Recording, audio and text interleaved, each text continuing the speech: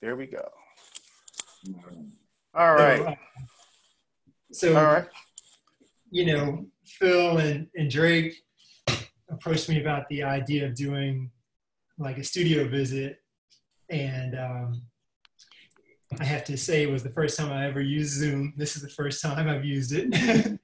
uh, so, but I, but I thought that uh, I, I said okay. One because they've been great brothers and friends for so long, but also because you know in this time, you know we have to find new ways to to let the art reach people, and so uh, this is kind of an online version of something I did last year. I did a couple of events actually. I did one studio visit. The first one was with a group called Transformer. And I'm sorry, the first one was actually with Millennium Art Salon, which is um, Juanita Hardy's organization. If I get to scroll through it, there may, maybe some Millennium people on this on this call.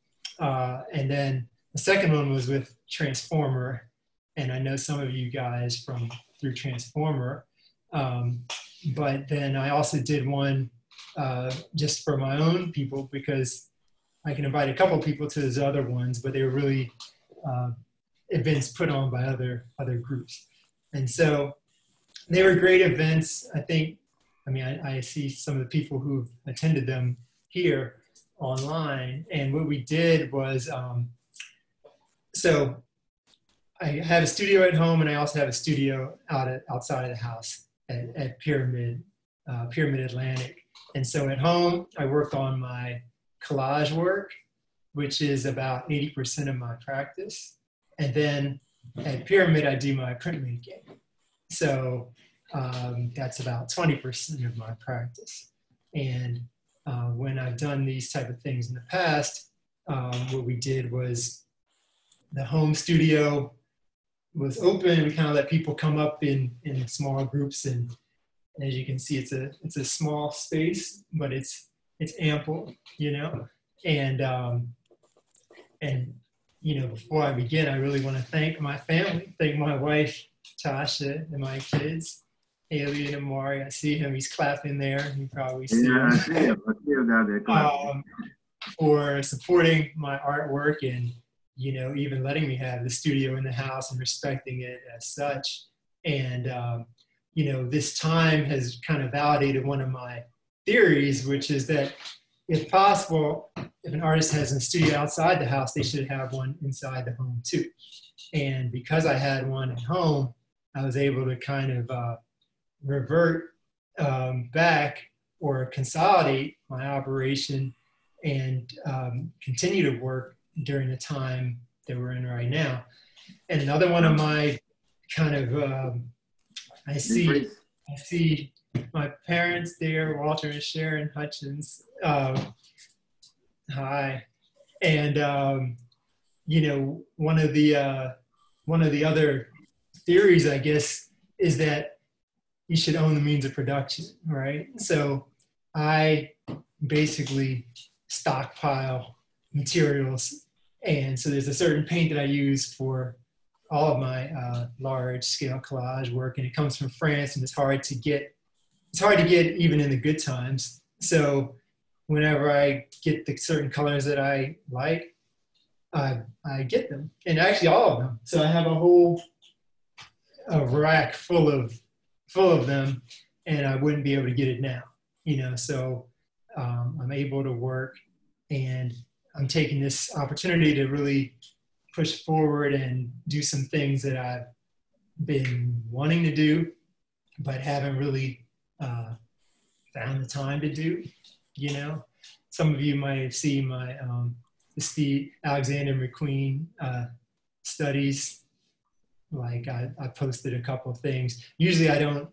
Another thing is I usually don't post much of my work. Like I, I want people to see it in person. I don't want to, you know, it's really quite different looking at it in a picture um, versus seeing the actual thing. And so I try to reward people that see the actual thing by not sharing everything online, you know, and not just you know, it's it's it's different models. You know, my model is is what it is, and you know, I've kind of had a lot of, um, you know, I guess success with it, um, which is largely largely outside of the so-called art world. You know, I believe that art belongs to the people, and so like we had some kids here right now, I give them some pencils and stuff, they start drawing. You know, so why and how did we get the idea that art should be uh, owned and controlled by a handful of people in New York? It just doesn't make sense to me. You know, something that's been done since the beginning of time on pyramids, on the walls of caves, or whatever, and something as innate to human beings as just you give a kid some markers, they're going to start drawing. So, um, my whole operation has kind of been set up in a unique way. And what I want to do is um, I want to go through a quick little PowerPoint to, to show you um, something about my process and what informs it. And then I also want to show you some of my current body of work. You know, I'm, I'm affected by it um, because there's a show that I have right now that's at the Muhammad Ali Center in Louisville, Kentucky. And it's uh, it's shut down now as the museum is shut down, um, as all museums are shut down.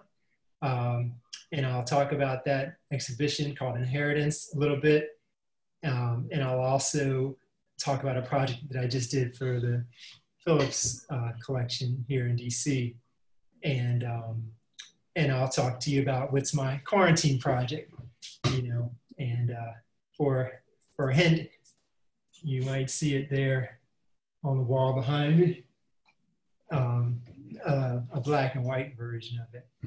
But um, what I'm going to do is go ahead and, and start with the PowerPoint. And, before we get started, before we get started, Imar, I, I do want to say something, just so people. Uh, I think it's very important, um, and you and you've alluded to it here about uh, how some of your past things, and Drake talked about a little bit too. I was listening before I got on uh, about uh, who you are and, and all the things you've done and what, what it brings to it. And I, I kind of want to start off by telling an anecdotal story that I remember. It goes back, it goes back a long time ago. Now, this is right. going back to 1994. Okay, I was driving in DC, and you were on the radio. And at the time, I believe, I want to say 1994, and you had just opened up, I believe, with the Lights of the Garden in DC.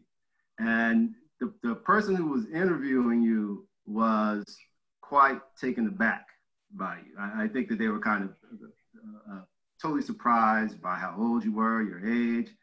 And I'm sitting in my car driving, and I'm taken aback by you too.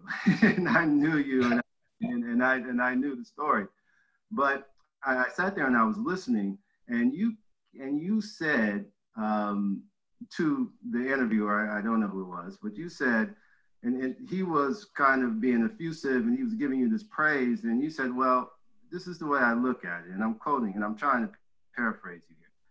You said, uh, if you have a room full of people who are laying flat on their backs the first person to raise their head off the ground is going to seem a miracle worker, right?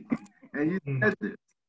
And now, all these years later, I, I, still feel it's it's it's it's important to um, understand that, even that type of understanding and that type of getting or, or getting to the truth, or or or even somewhat downplaying your accomplishment. It's still so very vivid today, and I just want to um, the only reason I don't usually get into a whole lot of anime but I wanted to get into that one because I think it says a lot about the, the person and the artist you become as well. So just a, just a little statement there before we get into the, to the heavy heavy armor here. Well, you know, people are always telling me things that I said that I don't remember saying, and, that, and that's. but uh, it is, uh, is that is that sunshine right there? Yeah. Hi. How you doing? Okay. Wow. Um, so, I mean, I don't remember saying that, but um, but I do, I guess, believe that, and that's why, you know, when we had our preparation for this call, I was like, ah, you know, guys, don't don't go through the the laundry list. Don't go through this, this whole this whole litany of of uh, you know things because you know I don't really care about that. Like what it is, I don't want to. I mean, I'll tell you what we talked about. I said I don't want to distract people. You know, I don't want to. This is for me. It's about the art. You know, and so I don't want it to be like, oh, Oh, I'm not. I said uh, this is this is a quote I can remember what I said because it was yesterday or, or so. I'm not on a marketing campaign. You know, I'm not trying to, you know, promote the work. You know, I'm not trying to sell it or hustle it. I don't. I'm not looking to do that. So it's not like, oh, this is so great because this guy did this and now he's an artist. It's like, well, no. Like if the word speaks to you, then it speaks to you. You know, and so it just reminds me. I mean, I wasn't going to talk about it uh, now or probably at all, but you know, I used to be a a um, street artist on West Broadway in Soho. You know, some of you might remember that. And um, so this is in like the 2000s, you know, 2002, three, four, in that in that time period. And what I loved about it was that it was just it's just democratic, you know, like this is when all the artists, if anybody knows, there used to be a street with all the artists in New York, and people just out there selling whatever and um, so it didn't matter anything about it. You know, I'm a I'm a self as an artist. I'm a self-taught artist. You know, so I don't have any credentials to support me artistically. All I have is the work. You know, and it either resonates with people or it doesn't. And so I happen to have it here as if as if planned. I can show you guys, but this is the kind of work that I was doing at that time. I was doing these portraits of people maybe hard to see here. But um, these are people that I met on the street, and I wasn't going out there to, to do it, but I met people who, over time, they would say, "Oh, you know, can you do something like that for me?" And um, and so I used the street for a studio. You know, other people used it as a as a place to sell art, but I just used it as a place to work because I was doing something else during the week. You know, and so um, that was kind of contrarian in the first place. But I guess it kind of, you know, speaks to how I approach the art. Like if you look at it, it has been in like waves, you know, it's been in waves. And you guys were there, at Morehouse, there was a wave, you know, I was doing, you probably remember I was doing t-shirts. I was doing the, the drum of Kemet, the newspaper for Kemet, you know, I was doing you know, things like that. Um, but as I, I'm to go through the PowerPoint and then it'll kind of relate back to this actually. So um, I'm to see if I'm, see if I'm good enough to do this. Okay. All right. All right. So, well, I guess I'm going to have to let you see the, the sidebar because I have to control it at the same time. So um, it is what it is there.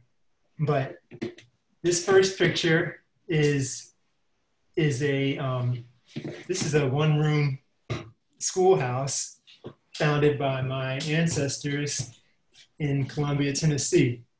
And so this is um, that would be one of my ancestors there on the left side, and these are all the kids and um, one of my ancestors was known as the, the rifle toting teacher because he taught so this would be my my great grandfather actually um, taught always with the rifle on the desk right?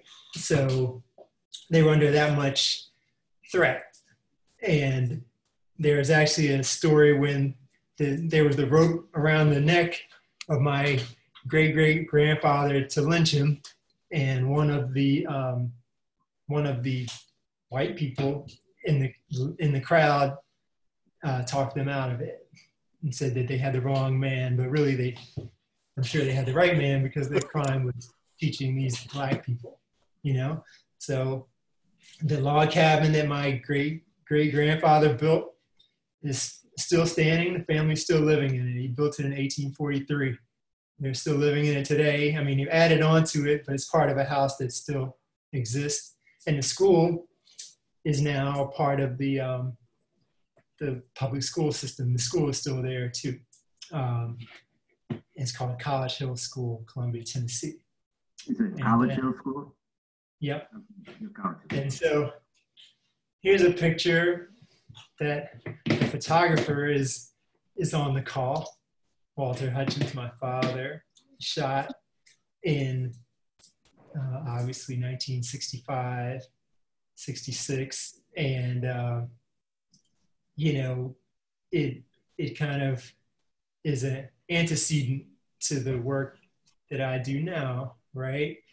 Um, my father has always been design oriented and um, and even in the name it tells you that it's a reference to you know american gothic and um, and just the the minimalist kind of composition you know? I see that in my own work you know the kind of uh, austerity and economy of the design you know, is something that I, I strive for in my own work. And so uh, I, I go on and show you. So this is things that my father collected, um, you know, before I was even born. And if you look at that folder there, I don't know, it says collage. And um, that's a folder from the 60s um, but no no collage per se was made from it, you know, or some might have been, but the fact that I'm a collage artist, you know, you can get into a question of what came first, the chicken or the egg, right? Because he he kept so I'm a child of the movement, right? And and my father especially kept all these movement memorabilia. So I have things like publications very that are probably the only only copy of it existing in the world, you know. Um, but everything, I mean, and I'll show you. I'll try to show you my archives if we have time today. Um, and so, um, so what I try to do with my collage work is to integrate these historical documents, this kind of ephemera and old photographs, hate mail and death threats that the family received, etc. Um, and here I'll give you, I'll show you a couple of examples, you know, that are pretty poignant, you know. Here is, here is an image on the left of, if you can read it, I'll read it to you. It says, it's a, it's a protest against drugs in the black community. And this is when as I say, you know, black people weren't looking for or waiting for expecting someone to save to save us. you know, so what happens here is this is this guy is not too old and that's standing up in the picture, but he's got a rope around his own kid's neck. You see that? And the pushes are lynching our beautiful children daily. You know? And you know, I love to do like a homage to Barkley Hendricks and do it like this, the full body. That would be dope. That would be mm-hmm. dope. but on the right side is a good example of an obscure publication, you know, by the Black Liberation Commission of the Progressive Labor Party, pre-Civil War Black nationalism. And, you know, I don't know the, the author, but I can tell you, you read the first page of something like this and you're like, wow, it, it will give you something to think about that you just, you haven't read in any book, you haven't seen on any show, you know, and, you know, when we get to my grandfather, uh, someone remind me to come back to why it was so important for us to keep our own archives historically. And so we'll move ahead. And so my first real uh, journey into the arts was as a cartoonist. Um, I was editorial cartoonist for the Philadelphia Tribune, um, which is uh, uh, the black newspaper in Philadelphia, very old. Um, was it since 1880 something? And um, and basically no one knew it was a kid doing them. So I did them from the time I was about 14 to 16, and nobody knew that it was a kid doing it. And and and it was great. They never and it was it was a real challenge because you had to um, you had to be on top of everything that was going on. You had to know everything that was going on politically. You had to come up with something funny, and you had to execute it.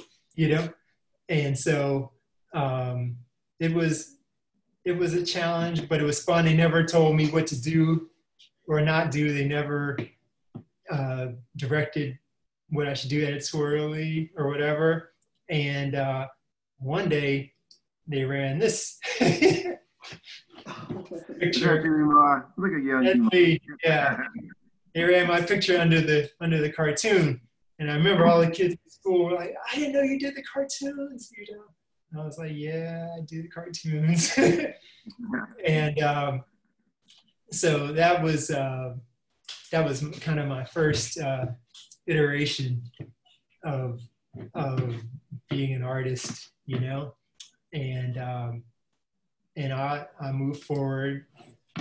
This is so I have a great affinity for printmakers um, and prints in general, and it's one of the reasons that I do prints. Like, not a lot of artists actually um, are uh, so-called you know, I kind of eschew these different delineations, but so-called fine artists and um, and also execute their own prints. You know, um, I mean, I've been told that on the on the fine arts point, you know, I've been told that I was not a fine artist; I was a commercial artist or an illustrator.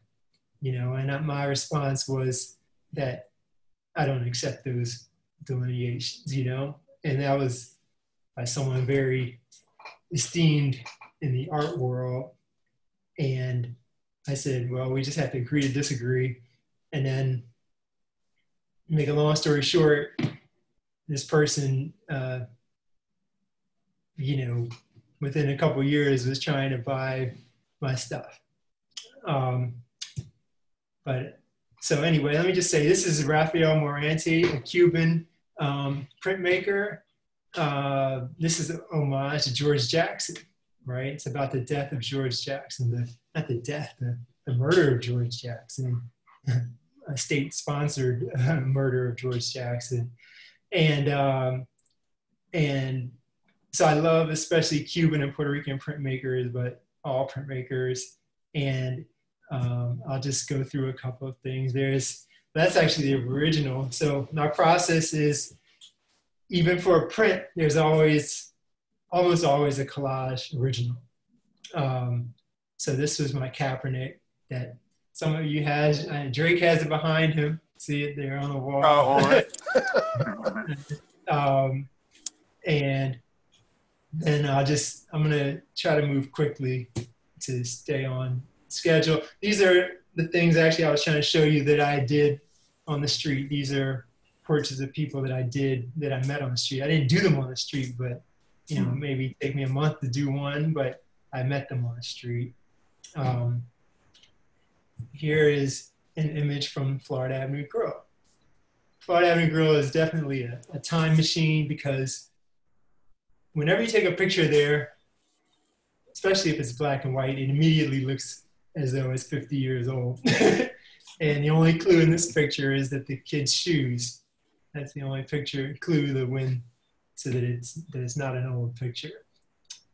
Um, I'll keep going, and we're getting into my um, sacred cows body of work, and uh, a lot of you probably have seen it or familiar with it, but this is a portrait of my daughter who might be on the call. Um, and so the idea of the Sacred Cows show was that um, you know how in in India and not just India, this is the this is the flyer for the show. Um, the cows are considered sacred, and also in Africa and other places. But the idea was to just challenge a conception that in in America, what if black people were like sacred cows? So what if every time one a black person went into a Starbucks, for example, everyone got up from their seat and said, "Oh no, take my take my seat," you know. Oh, let me buy you something, you know. And it's just a way of challenging the conception, just flipping it. What if you wanted to, you know, if the cow sits down in the road, the traffic has to go around. What if if a black person sat down in the middle of the street, traffic had to just go around? Because basically our continued existence is such a miracle that you know we should be sacred cows and what i used in this one is the um, that panel that that's on is the old original tin ceiling of the florida avenue grill and what happened was that the ceiling was too bad it was being torn out and the guys were taking it out and i was like looking at it and i was like hold on hold on wait wait i need that i need that ceiling they're like, this, this trash. I'm like, yeah, I need it. And you know why? Because if you look at it closely, those are Adinkra symbols on the ceiling. And it, it came together for me because I had just been studying how, you know, blacks did all the metal work back in the day. And, uh, and then it, it came to me that the ancestors sent us a, a message through the eons in that ceiling. See, the person, the guy that told them to do the ceiling was like, oh, just make it a pretty pattern. And they're like, yes, yes, boss, you know? And, but they remembered and they put messages in there. And so that most prominent message in there is the Sankofa, which means, one of the meanings is learn from your mistakes, you know? And if you think about it, why they do the ceiling like that and not the floor? Because it's as if to say, well, when you look up, think of us. You see? And here's a little, another piece that I did from that same body of work where I had a, a little um, tracing, well, painting of the, of the same pattern. And we just have a couple of symbols that you see in it there on the right. Um, and I'm gonna I'm gonna keep going so we stay on stay on schedule. Um, this is a portrait of of Dolen, who's uh, Dolen Perkins Valdez, um, uh, that was in the Sacred Cow's body of work. And uh, there is a there's a self portrait that's in it, and this is well, it's not the first, but it's the second time I used the hate mail in incorporated hate mail into the pieces and this is in the collection of John and Cindy Borders that, that might be on the call as well. Uh, and this is actually the only piece that's not new that's in the Ali Center show. They lent it for the Ali Center show because really they spearheaded that show and they, they always said that, you know, we were going to do something in Kentucky. So they kind of spoke that into existence. And we'll, we'll come back to the hate mail later. Uh, that's just an installation view of a couple of pieces. There's a, can't see that well here, it's a portrait of my father in the middle. The cow with those, all those, all those pink circles around his neck. Um, and then moving forward, um, this is 2018. The next um, body of work is called Chattel. And this was um, a continuation of the sacred cows theme in the sense that if you take out the word, the letter H, chattel is cattle. And chattel slavery is a type of slavery that blacks were held in in this country. And, um, and the reason that I dwell on it here, I mean, in the Ali, this is the first instance of the Ali. And uh, you see the horns are kind of abstracted in his in his afro there. Even the Kaepernick had horns in his hair, uh, horns in his afro look. See, can you see if you can see them? I don't know if you guys can see the mouse or not when I move it. Can you see it or no? Oh yeah, yeah, I can. Yeah. Yeah, see the See horns there. Uh-huh. So, uh, just coming back.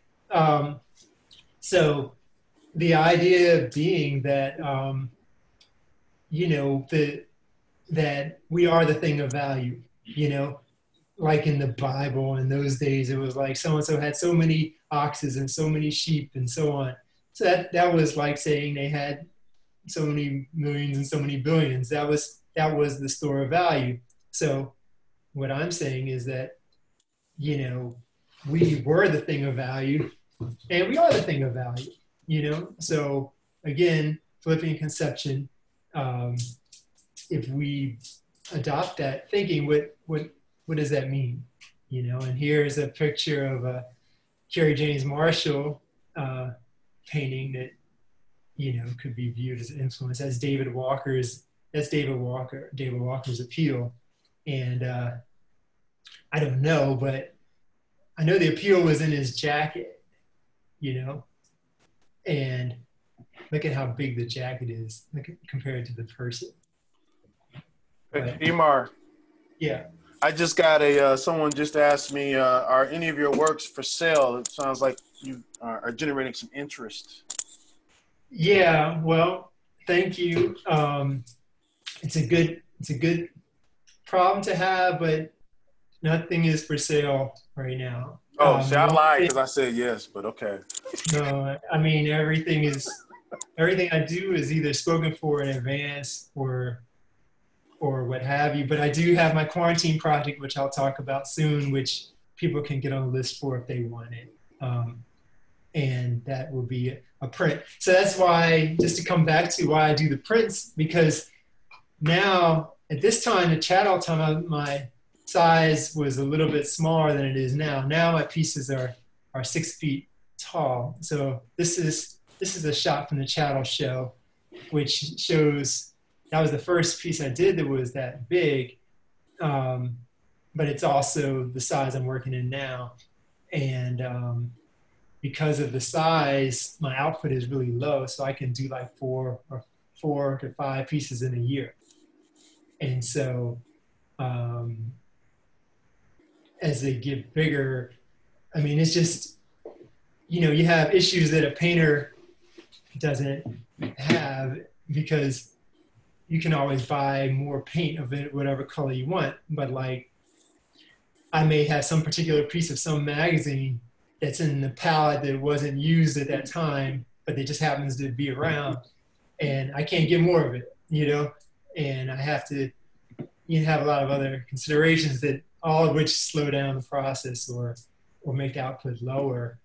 And um, but that's why I do the prints so they can be more accessible. And here is one where you're seeing it started out as a collage and a show.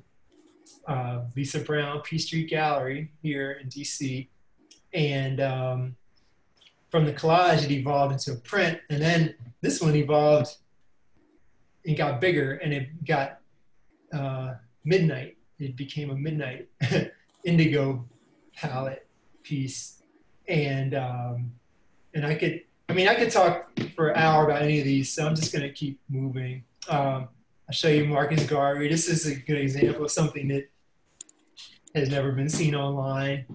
I'll show you a lot like that. That Toussaint, I don't think has been seen online either. But this is Garvey that was in the Chattel show, and you know, those are some color studies when I was figuring out how I wanted to do it. And there's a sketch.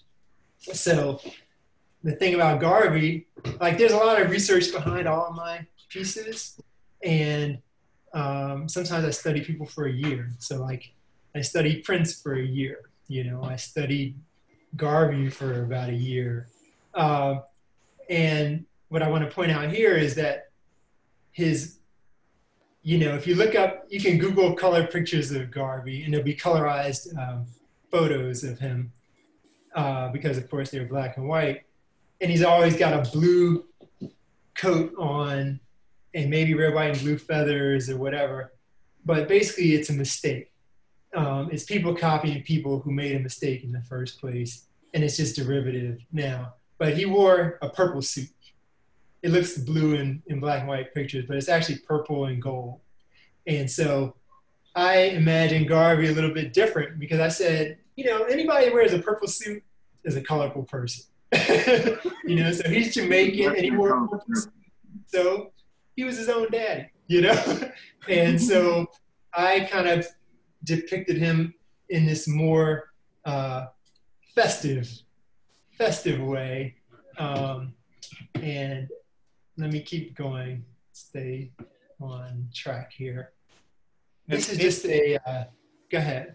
I have actually someone presented a question to your father. I don't know if he, uh, his mic is unmuted, but uh, someone is asking, they said to uh, Mr. Hutchins, how did you find time to uh, balancing and encouraging and directing Imar's talent?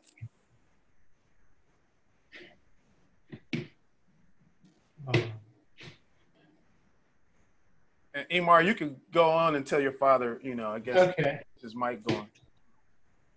Oh wait, I think he's. Go ahead. Are you talking? Not talking. Come back Okay. to it. Yeah. Okay. Well, well, how about this? We'll, we're, the plan is to have a Q&A um, at the end. And so let me just rush through the rest of this. And um, this is a detail of the, of the Toussaint piece. And it was all about the sea. It's all about the, um, how the Haitians beat the French Navy, which is the most powerful military in the world at the time. And this is um, this is the Frederick Douglass. Um, that was the study for Frederick Douglass. It's homage to John Johnson and to Frederick Douglass. It's one of the few ebonies, and I have a lot that they went away from the red logo, red and white logo. So it's almost as if it's a, you know, Life had the same red and white logo. Ebony was basically the, the black version of Life. And it's almost as if they said this is not the black version of something else. This is this is something special. So it's the 100th anniversary of the emancipation proclamation. That's the that's the issue.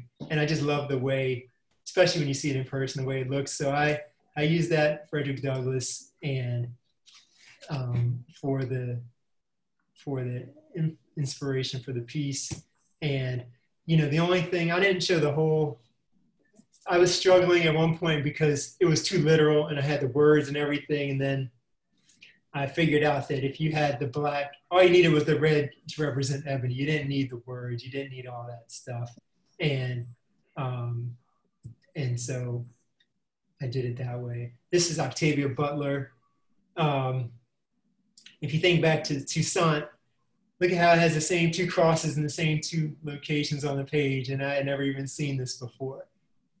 Um, but this is that's the original cover of the first edition Mind of My Mind, and you see they had done the um, this thing that was popular to call it whitewashing, where they thought that they made it evident that there was a black author, people wouldn't read it. So there's no picture of her. There's no indication that she was black, and um, and so what I did was I put her in her own a book cover and and I put her as a teenager because she's 14 years old in this picture.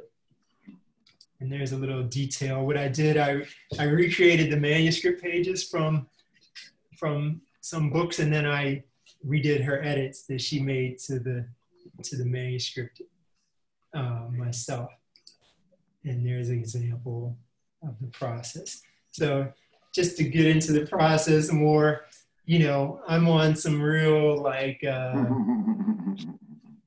Wagner type of thing here, where like uh, I make my own frames, I mill the wood for them, you know, I um, I stretch my own canvases, um, I I do it all. So basically, it's like if it if it falls off the wall, it's not because oh you know, Blick doesn't make good frames anymore. It's because I messed up you know and if it doesn't then it doesn't you know it's it's just about that so just quickly going through this is the well you'll get to see the process of how uh, full scale collage turns into a print sometimes maybe one a year. But this is Josephine Baker. This was a, so that poster on the left is, is a historical poster. You know, I could talk about that, but for now, I'll just say it's the only one that focused on her body and not her face, on her face and not her body. That's the only Josephine poster in existence that fo- focused on her face and not her body. And what I did in the Josephine here is that I made it. She most people don't know she adopted 12 kids of every race and religion in the world. I'm not sure if people know that. And so if you look at it, the kids are in her hair. Can you see that? You see there's kids of every description in her hair. And they're not literally the kids, they are they are kids that represent them. And the only adult in it is Mother Hale, who's got a baby in her arms right there. And Josephine was essentially an orphan, and so she loved kids that had been orphaned. And this military green here is because she was a spy in the French resistance. And uh, I could say more, but I'll just keep going. And so my process was when I decided to make a print out of it that I use a million little pieces of paper, and this is only colors, right? So if you look at this, you say, oh yeah, yeah, it's the same as the other one. But then when you look at them side to side by side, they're really quite different. There's no clippings. One is only one is only color, and one is only old newspapers basically and magazines and stuff. Um, and then in terms of process, if I'm going to make a print, then I, I make the print myself. And um, let's see, wonder if this will work.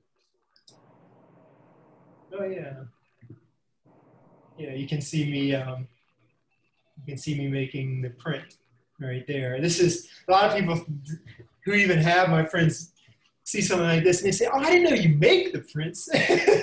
but yes, I, I make the prints. They're not. Um, they don't come out of a machine or anything like that. And this is just a little vignette of me, I guess, putting on the last layer. So there'll be a different screen for each color.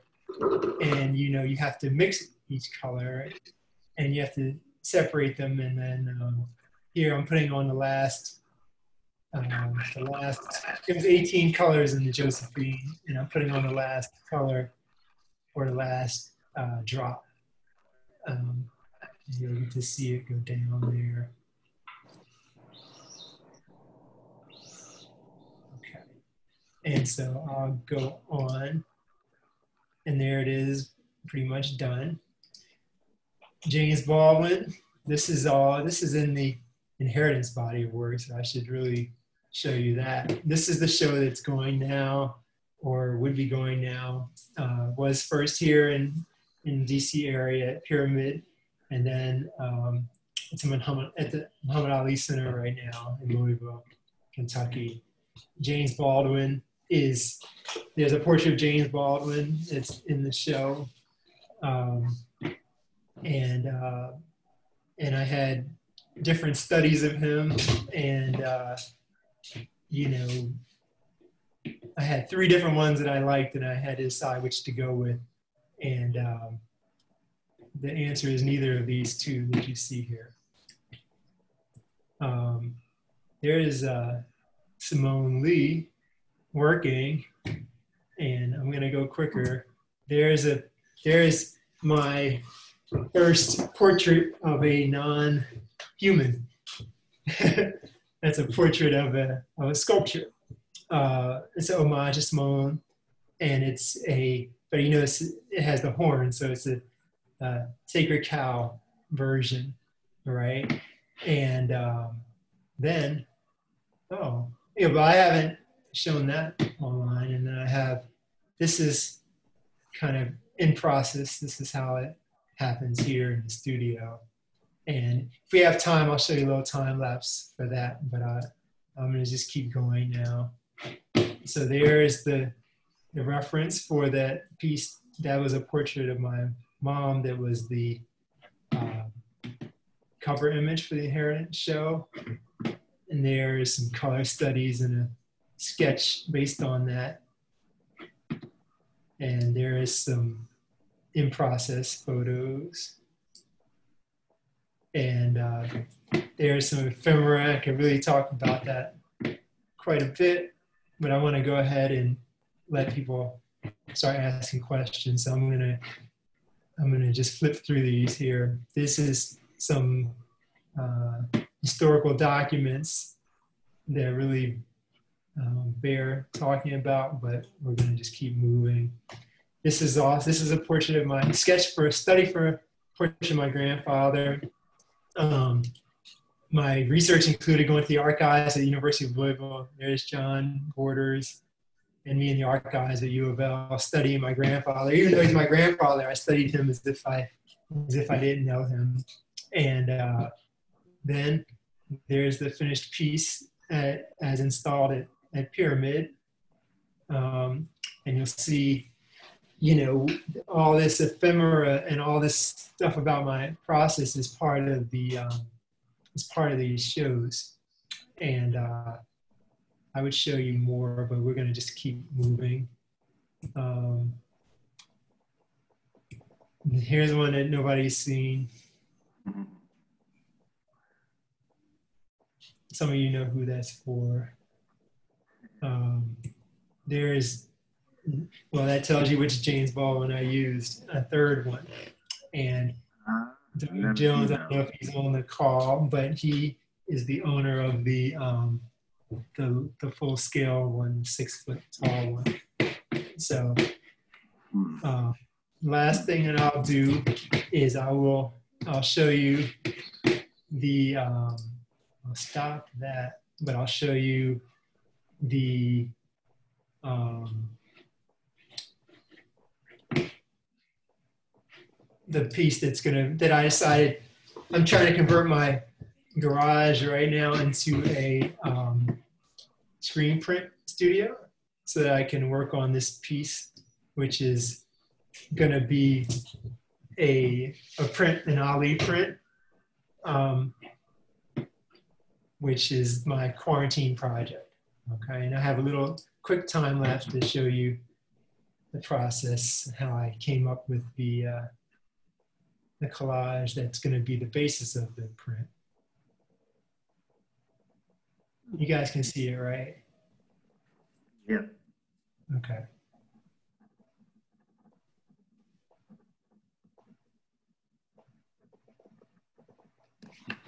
So there's a bigger, there's a six foot tall one of this that is intended to be public art and stay in Louisville. That's in the show.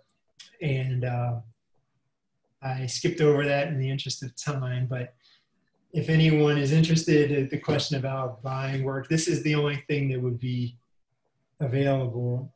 Um, and um, the way to get it would be to get to let to contact me and say you want to be on the list for it, and uh, it'll be a print probably in another couple of months.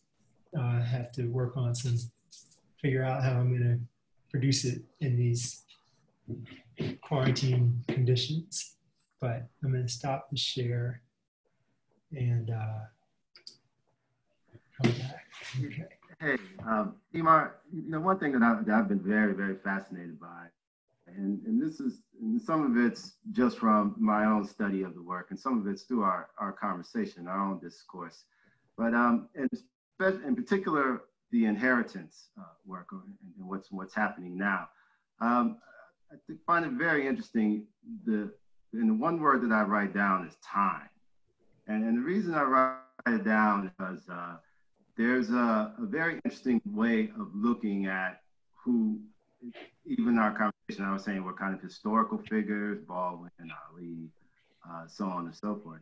But I know our conversation that you, you like the term intergalactic and, and, and, and, and you're, you're kind of thinking of these things through a fuse of, of a, a sense of Afrofuturism involved in it. So there's this kind of melding of the past. You're, you're choosing different times to reflect the artist, if they're a young person or an older person.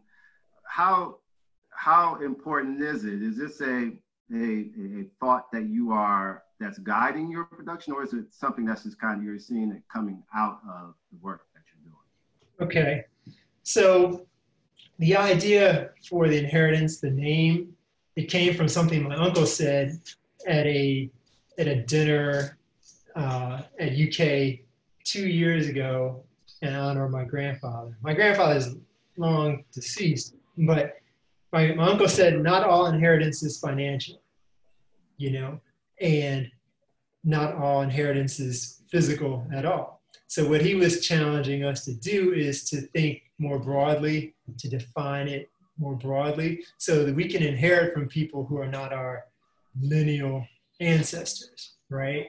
And so we can also, uh, so that some of the people in that body work are, but a lot of people aren't. And those are, those are basically there's an inheritance there for people to claim really from anyone if they want to. And it's a, it's a thing, it's a question of whether your, your mind is even open to thinking in those terms. And so that's what I'm, that's what I'm trying to do with the, with the body of work. And it's a, it's a, you know, where it comes from is a really great question because like sometimes I do something and I say, well, I can't do that. You know what I mean? Like, like, uh, like, you know, some of these sketches, for example, like I talked about this in another talk, but I say, well, I can't, I can't do that. You know, like, I don't know where it came from. And so what I'm going to do is show you, I'm going to show you a couple of things that, that make that point. All right. I'm going to, this is a, let's see if we got it. Yeah.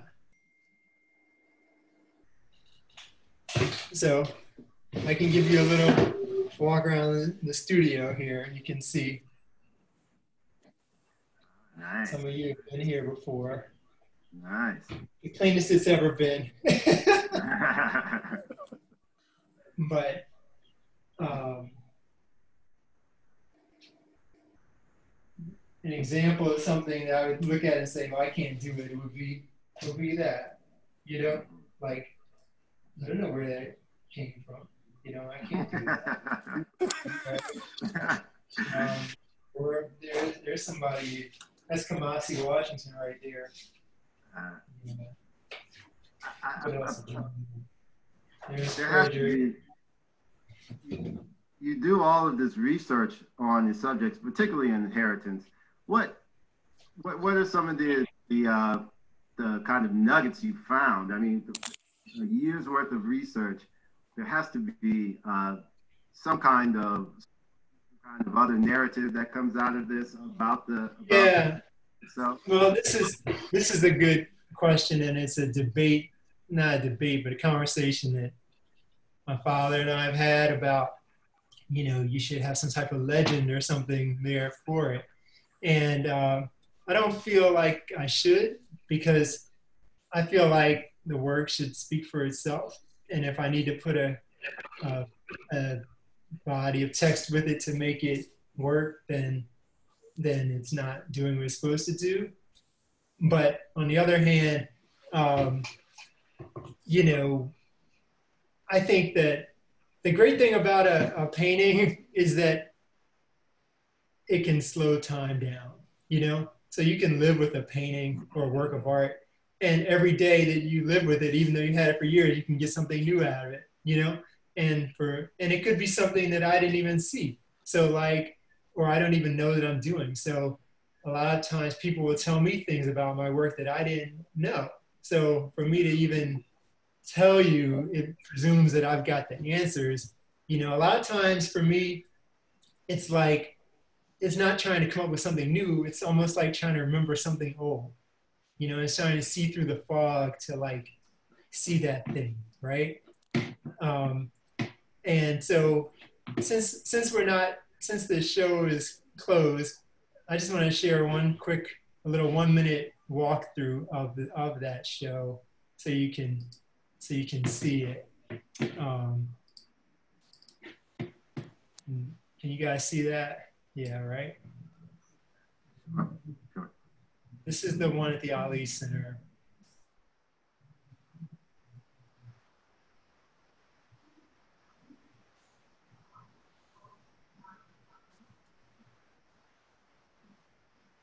Here's Baldwin. You saw Simone. Saw Southport. There's the big Ali. There's the one of my mom. Uh, There's the one of my grandfather. UK lent it to Ali for this, and um, there's more. There's there's the big James Baldwin. Wow. wow. No one has seen that.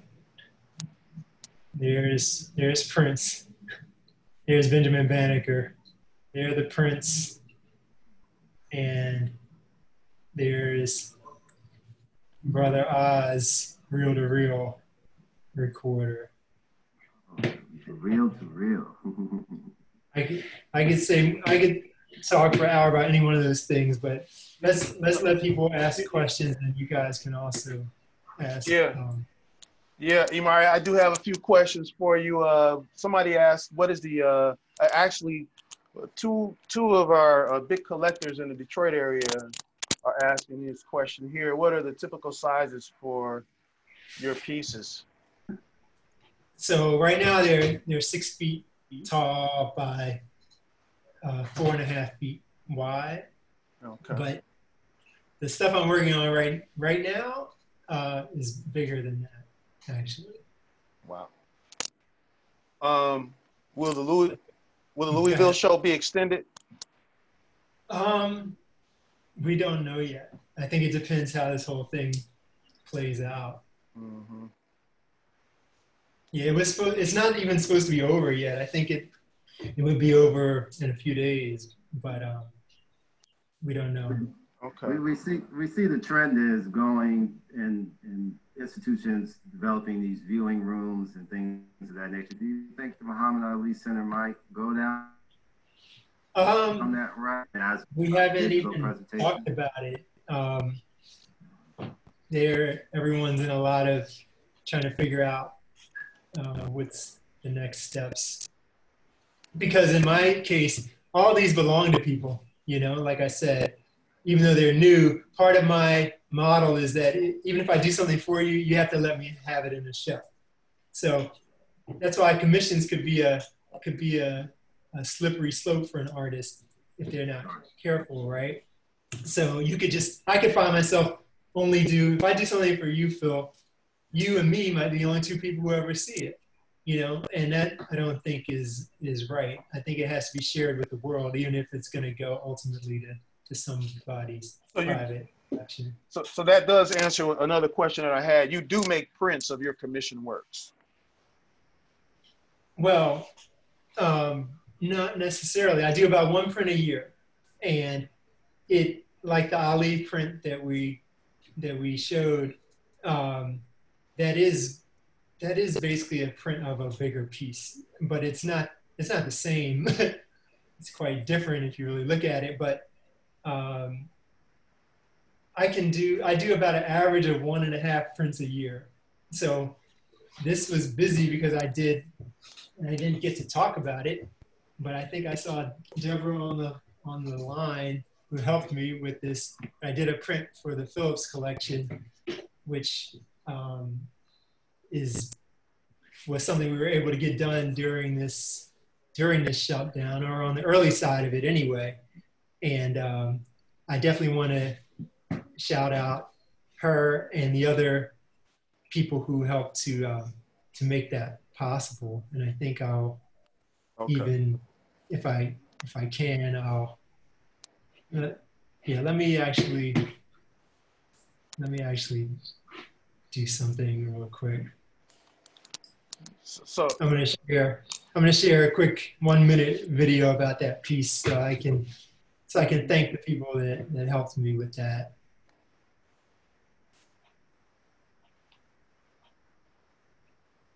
Okay.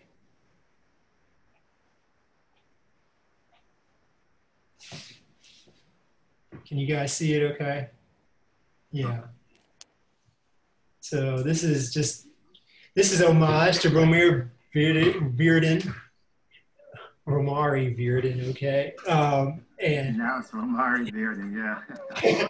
his fate, his his it's for a show called Riffs and Relations, which is at the Phillips Collection now. It's going to be extended through the end of the year, but they don't know when they're going to open it. Um, but it's a big honor to be commissioned to do a print uh, to commemorate the, the show. And um, because of the time, there is Deborah, because of the time constraints, I had to get all the talented printmakers at Pyramid to help me to um, to complete this project. And um, it's called Queen Poseidon the Lost Sons. And so basically, it's a it's an homage to a Bearden uh, piece, which I'll show you the. You guys might know the Bearden. Um, this is this is Bearden's Poseidon. So what I've done is, I, to make a long story short, I imagine Poseidon as a woman. She's Queen Poseidon. Cyclops, the skull is her son. It represents the souls lost to uh, lost to violence in the black community. And instead of fish or along with the fish uh, floating in the water, you will see you see the guns. Can you guys see that? Yeah. Yeah. Yeah, sure. Yeah. Yeah. And um, I can talk about that a lot. But we're proud of that. And um, let me let me turn that off. Okay, so go ahead. And I think actually I think that there's a few of them left. Um, less than 10. You go ahead. You got some more questions, Rick? Yeah, you know what? Um, yes, someone uh who asked this question. Oh, Katura Uh-huh. Jeffries, uh, another collector.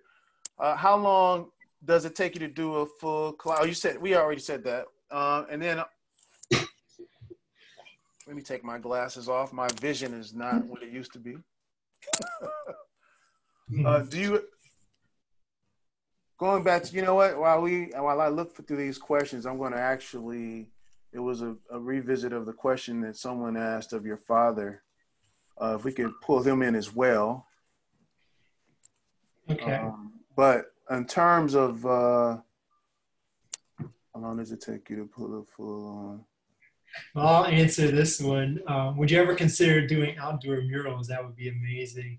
Uh, hi. um, and I think you can let people raise hand and ask questions. Um, Yeah. Raise, raise hand button. Um, but I'm not so keen on the outdoor murals, even though I love it. I thought about doing it, but it's just because it's well, I have some some political views on it, and I mean mainly about how artists are being used as a kind of a cover for a lot of gentrification, and so paint the wall of this building. The only reason there's a party wall there, I'm speaking about DC, but everywhere. The only reason the party wall exists is because whoever is trying to acquire the land next to it hasn't been able to put the whole thing together yet. And once they do, that wall is getting covered up. If it weren't, if it weren't, it wouldn't be just a flat wall. It would have windows and everything. But you can't do that on a party wall. There's that. But then also, um, it's just another totally separate thing. You have to be really like focused on that and like, you know, you got to have your sky jacks and and everything together. And I just let people have that lane, even though, you know, we are thinking about some collaborations. I mean, one thing I didn't show you, I should show you guys since you since you're here, I have to give some rewards for people that to see things that they wouldn't have seen otherwise. But I'm doing I'm doing a skate deck. Um, let's see, are we on?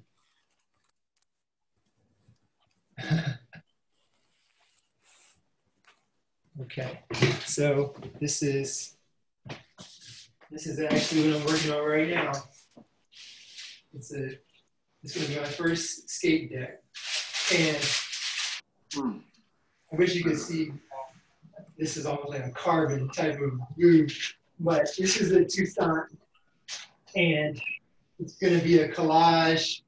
It's going to be the deck is actually going to be a collage, and but I am going to do like I think a very small number of prints. It'll probably be like invitation only type of thing. Um, some of the people that collect my my work uh, because there's a lot of technical difficulties um, to overcome to uh, for me to do what I want to do on it. But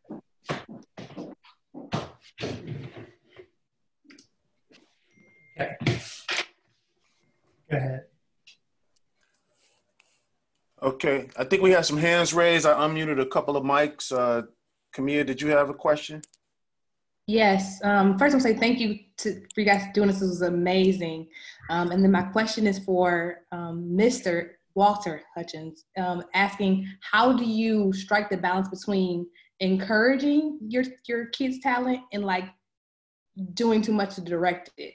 I have a seven year old who who's teachers and who we've seen like him be very artistic since a young age. Um, he was on the call in the beginning and he was watching, you know, he's seven, so he went to go watch TV after that, but trying to figure out how to keep him focused, but how not to like be overbearing as a parent. All I could suggest is go with the flow. Don't try to control it. You'll, you'll know what to do.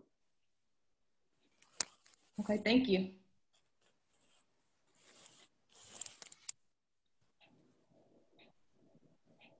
I would like to throw something in here real quick, Imar. You know, I was thinking of, I saw something that your grandfather had said, or that you were doing a, a remembrance of something your grandfather had told you.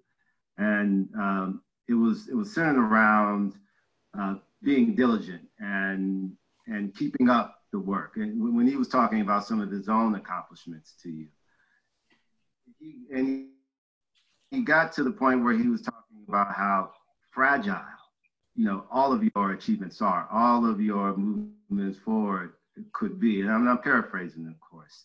Uh, and I, thought it was interesting that in the talk of inheritance, in the talk of legacy, this is what you remember at that time. Is that something that has been guiding for you in your work, or, or particularly in this project as inheritance is?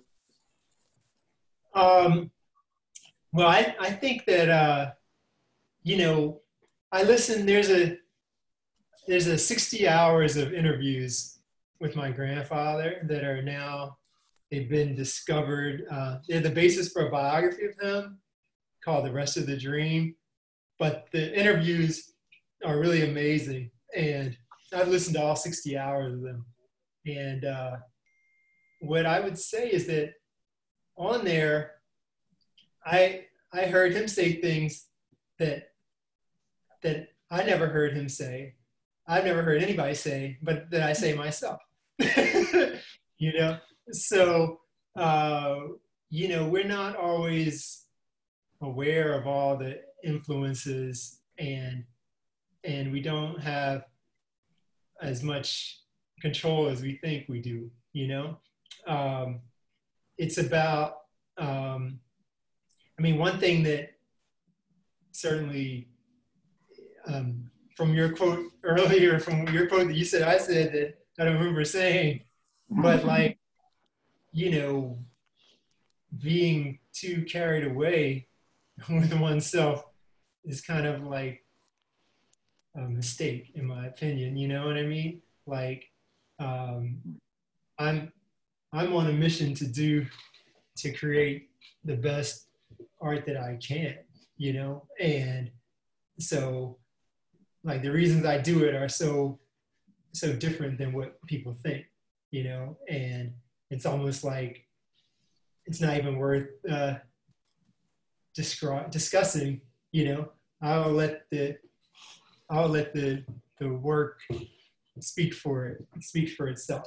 So like, you know, ideally, when I'm when I'm gone, you know, you don't have to read a book or ask somebody, oh, what, what was Imar like? Whatever I had to say, I, I said it right here. You know what I mean? I said it on the canvas or on the skate deck or in the book or whatever. And I said it. Imar, you uh you talked about a lot on preparing for this. One word that you you used a lot, and you haven't used. I haven't heard you say it today, and I mentioned it earlier. But you like to use the word intergalactic, and I, I liked you know, and, and your take on intergalacticism was really was great because it did not necessarily always intersect with fame. It was just just something that you talked about it being uh, something that you you might see as a, a certain uniqueness or je ne sais quoi in your subject. So you know, if you could speak to this whole concept of okay, I know what you're talking about. I mean, basically, I said the only prerequisite for me to do your portrait is for you to be intergalactic. You know, it's not it's not about being famous or rich or anything like that. And that's why in every one of my shows, there's always people who are not so-called famous, or if they are, um, like Banneker. I did a portrait of him when he's 19 years old. Like all the other, there's not a lot of representations of him, but if they are, they're when he's older, because he was in his 60s when he did the survey of Washington, you know. But he was 19 when he invented or made a clock out of wood, right? His first notice was he built a clock out of wood that struck every hour on the hour, carved all the gears and everything out of wood, but never having seen such a clock. And there were only three people in the United States that could build a clock at all, and they had all been trained in Europe for decades. But a 19 year old unlearned kid that never had a book until he was in his 30s built a clock out of wood is struck for 50 years until his death, you know, never having even seen one. And so that was pretty amazing, you know? And so I did him when he was 19 when he built that clock, you know? So one of the reasons I do people, um, even the Ali, you know, see, it's a young Muhammad Ali, you know? Um, or the Octavia Butler, she's a teenager in that. It's to show people, especially uh, young people, that you know, this person is intergalactic, but you might be too. You know, they were intergalactic before you ever knew their name or before anybody knew their name. And whether anyone did or not, see? So. Absolutely, absolutely. There's something that I asked you to show, to, and, and you haven't shown it, and, and uh, this is probably more selfish of me, you know, geographically. Um, but the the Shinola okay. logo, you you know, you know or met the owner of Shinola, he saw your work and and uh, he asked you to he, to do a piece for the for the store. Okay, um, I can show you that. I should have known you were gonna. You were gonna yeah. So um, this is a it's a piece that I did. Um, it's a portrait of a real person. Um, and it's not there's no print of it i never did a print but the idea the thought was that i was going to do a print um, i do know those guys and um, you know we we talked about a lot of things but we kind of got busy and and i never did it and um, but i'll i'll show it to you anyway since you uh, since you asked and uh, let's see. All right, here. Okay. So I can, wow. The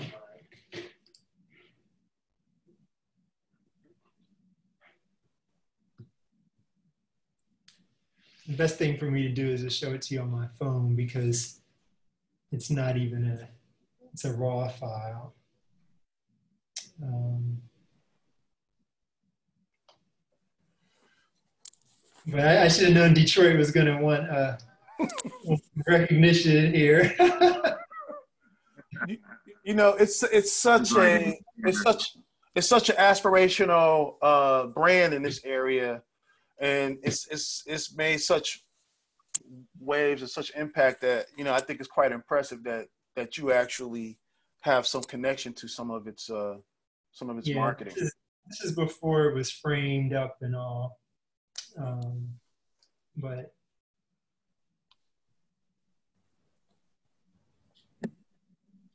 you see it.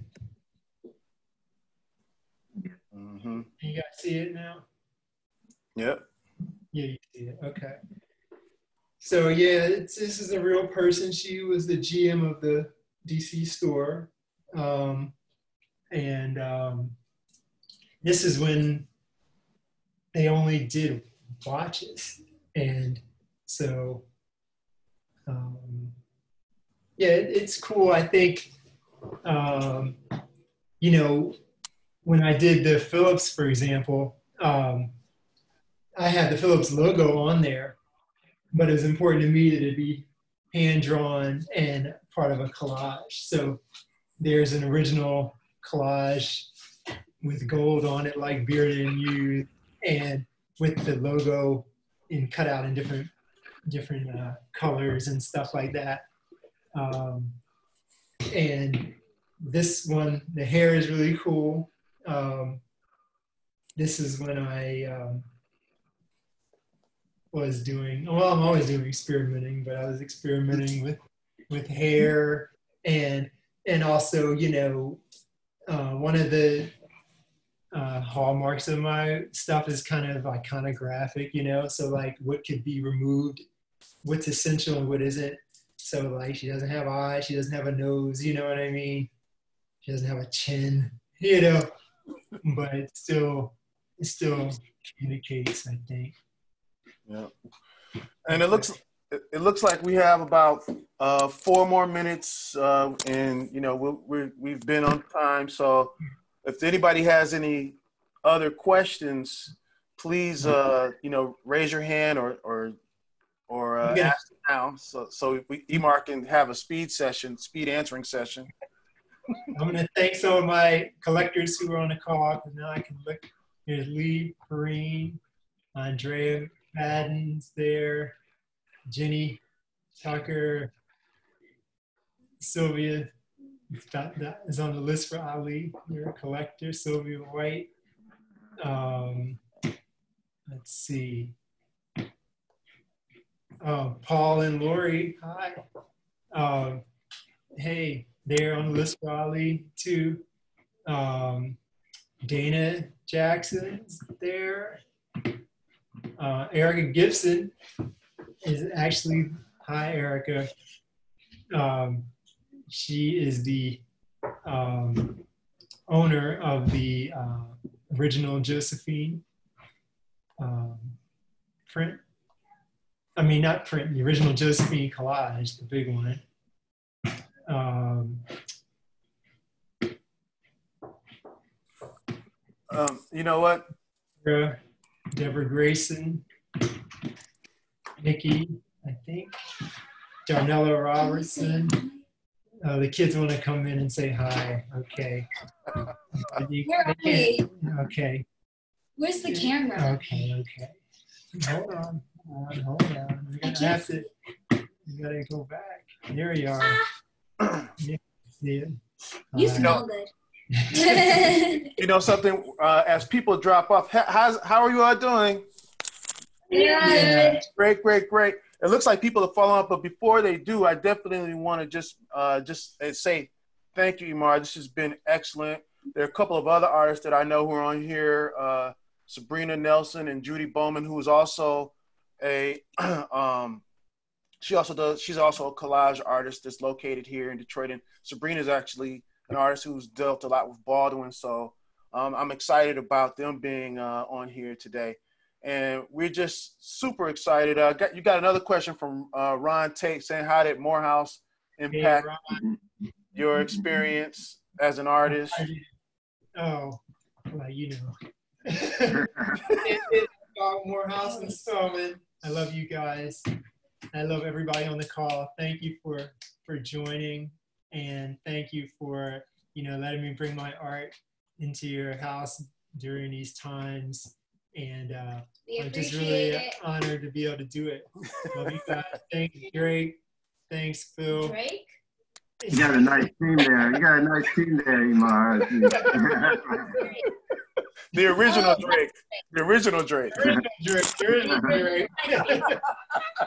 And, G. and, and, and we, we'll be here again next week, and I hope that everyone who was able to make it today will be able to make it next week. We will be featuring Sabrina Nelson, and uh, it will have another artist talk with her as well. So you all are welcome to come, the whole family. Absolutely, we'll be there. We'll be there. Yeah. I'll go too. Thank you, Let's everybody. say imarhutchins.com as Thank well you, for Imar. more. I love your work. It was beautiful. Thank you. Thank you for Thank taking you. your Yeah. time.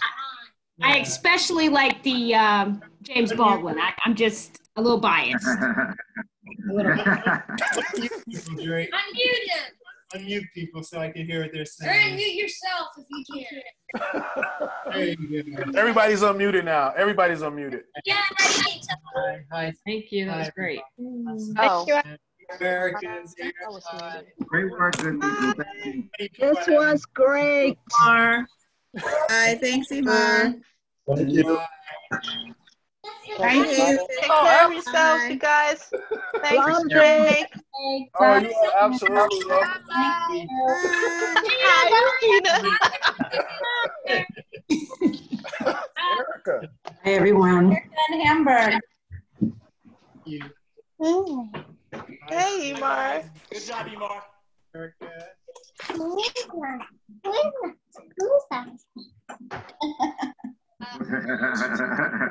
Old school. friends.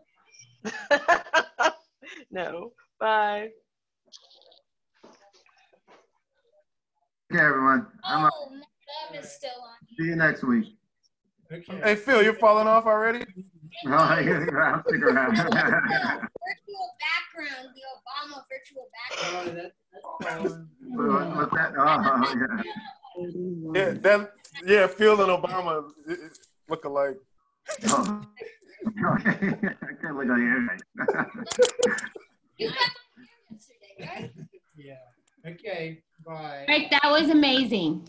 Thank It's you. good to see you, Sabrina. It's good to, it's good to meet you. Thank you, baby. Good to meet you too. I mean, you know, so like uh, in my head, Imar, do you know Mario? Hey, Gina, how you doing? The Mario that works at the Corona. I'm not sure if if he can hear me, but No, I can't hear you right now. you can. I can hear you, yes.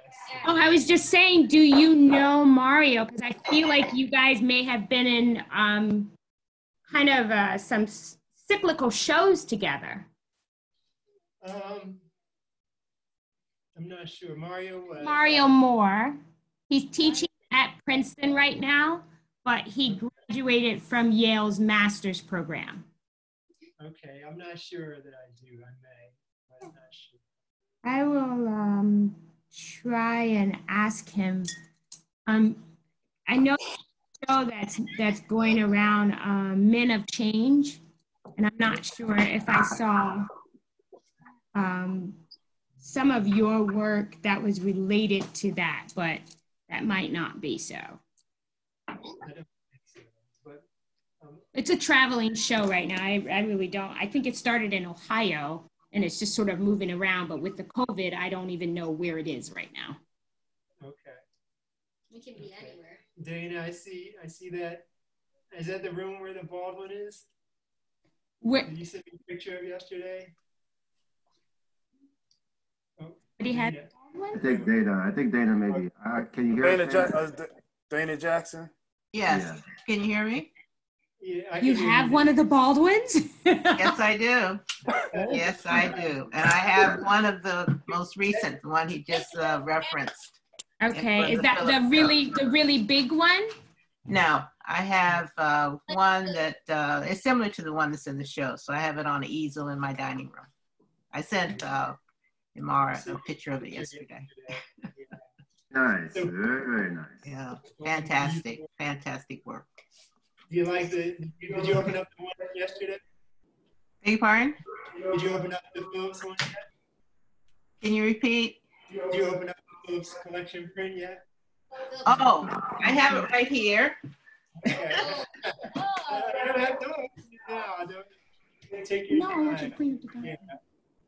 You're getting it. I want to see. that. I want to see. Ta-da.